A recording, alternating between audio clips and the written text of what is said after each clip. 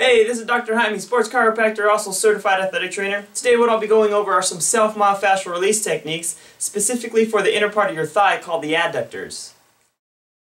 There's two ways to perform this exercise. First, lie face down as shown with the foam roller parallel with your body.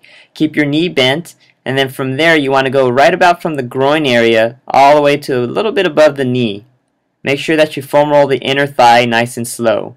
Then you can also straighten out your leg as shown now, going from the same position from about the groin area to just above the knee, making sure you get that inner part of your thigh. To isolate and focus a tad bit more on certain areas of the inner part of your thigh, find an area that's tender, hold that position. Once you hold that position, slowly straighten out your knee. After you straighten out your knee, go ahead and bend your knee again. Then find another area that's tender, hold that same position, extend your knee, then bend it.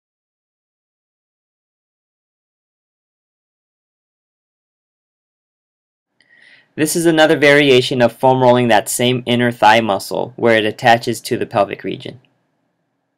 Hey, I want to say thanks for checking out these videos. If you want to see more, please check out our website. Thanks a lot.